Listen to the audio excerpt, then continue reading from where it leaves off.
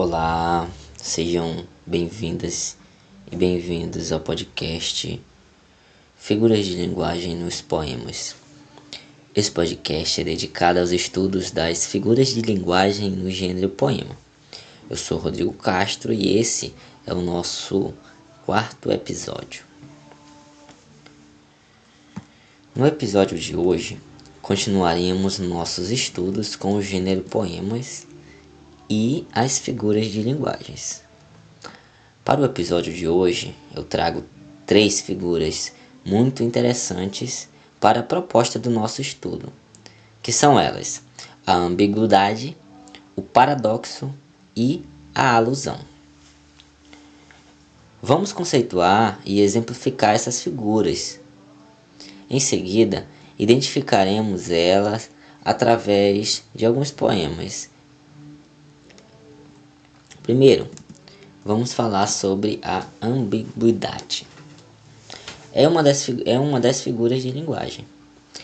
Ela também pode ser chamada de anfibologia e ser considerada um vício de linguagem, principalmente quando é dita assim propositalmente, certo? A ambiguidade acontece quando existe uma duplicidade de sentido nas palavras ou nas frases do texto, e por ser interpretada de maneira diferente pelos leitores ouvintes, pode causar confusão no seu propósito final.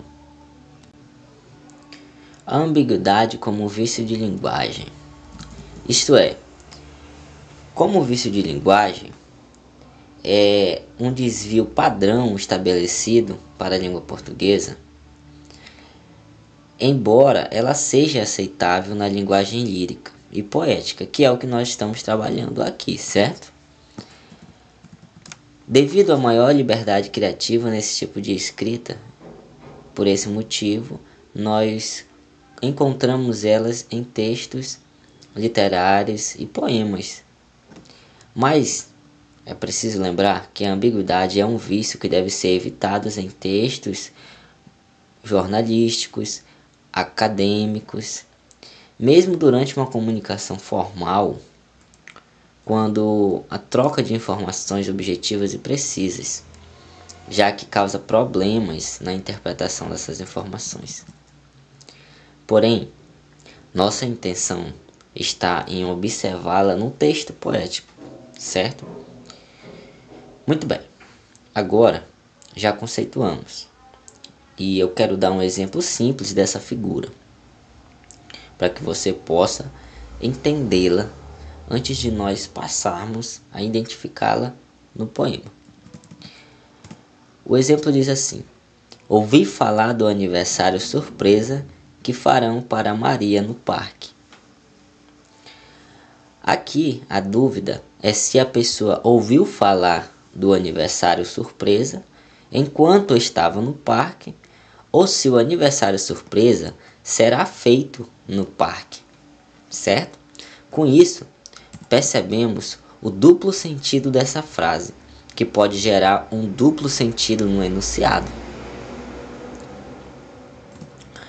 Agora, veremos a ambiguidade em um poema. O poema Órion. A primeira namorada, tão alta, que o beijo não a alcançava, o pescoço não a alcançava, nem mesmo a voz a alcançava. Eram quilômetros de silêncio. Luzia na janela do sobrado. Muito bem. É um poema muito bonito. O poema de Carlos Drummond de Andrade, de 1992, possui duplo sentido quando ele diz Luzia na janela do sobrado. O termo Luzia pode se referir à pessoa de nome Luzia, ou pode estar ali no sentido de luzir, certo? De dar luz. Com isso, nós podemos perceber como que essa figura está disposta nesse gênero poema. Esse é só um dos casos. Muito bem. Trataremos agora do paradoxo. O paradoxo é uma figura de linguagem caracterizada pela associação de conceitos contraditórios na representação de uma só ideia. Embora esses conceitos contraditórios possam parecer ilógicos, acabam formando uma unidade semântica aceitável, passível de ser real.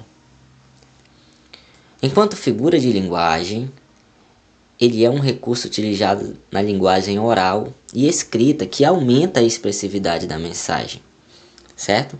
Representando o ilógico, o absurdo, o impossível e a falta de nexo. É um recurso muito útil para expressar ironia e sarcasmo. Muitas vezes, o paradoxo pode apresentar uma expressão absurda e aparentemente sem nexo. Entretanto, ele expõe uma ideia coerente fundamentada na verdade. Certo? Ele lê um trecho do poema de Luiz de Camões, Amor é fogo que arde sem se ver. Poema que já usamos aqui no primeiro episódio. Se você quiser acompanhar na íntegra lá. Diz assim a primeira estrofe: Amor é fogo que arde sem se ver. É ferida que dói e não se sente. É um contentamento descontente. É dor que desatina sem doer. Note que esse poema é cheio de figuras. O paradoxo nós vamos encontrar no terceiro verso, que diz assim: é um contentamento descontente, que expressa a ideia que falamos há pouco. Ok. Seguiremos então para a alusão, que é uma figura caracterizada pela referência ou citação. Trata-se de uma espécie de intertexto onde um texto se relaciona com o outro de forma explícita ou implícita. Sendo assim, torna-se admissível mencionar fatos, pessoas, trabalhos de arte, acontecimentos históricos, celebridades, já existentes em outras obras. Devido a esta interrelação, a alusão é considerada como um tipo de intertextualidade. É uma figura de linguagem que favorece uma ligação sutil entre textos. Darei um exemplo. Alguém pode dizer: Meu computador foi invadido por um cavalo de Troia. Note que essa expressão faz alusão ao cavalo de madeira repleto de soldados escondidos que os gregos enviaram aos troianos, como se fosse um presente por ocasião da guerra de Troia. Nós sabemos que, na verdade, essa frase refere-se a um malware que entra em seu computador através de um download, mas esconde vírus maléficos aos seus sistemas. Para saber como esse fenômeno está presente nos textos,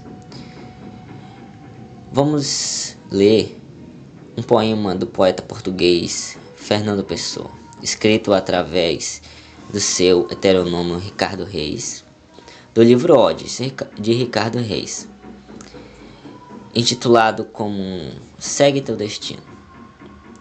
Segue teu destino, rega as tuas plantas, ama as tuas rosas, o resto é a sombra de árvores alheias. A realidade sempre é mais ou menos do que nós queremos. Só nós somos sempre iguais a nós próprios. Suave é viver só, grande e nobre é sempre viver simplesmente. Deixar a dor nas aras como ex-voto aos deuses. Vê de longe a vida, nunca a interrogares.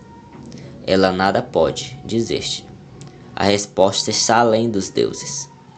Mas serenamente imita o Olimpo no teu coração. Os deuses são deuses, porque não se pensam. No último, na última estrofe, nós temos uma alusão ao Olimpo. Essa alusão se refere ao que nós falamos antes, que traz fenômenos de outros textos conhecidos da mitologia grega.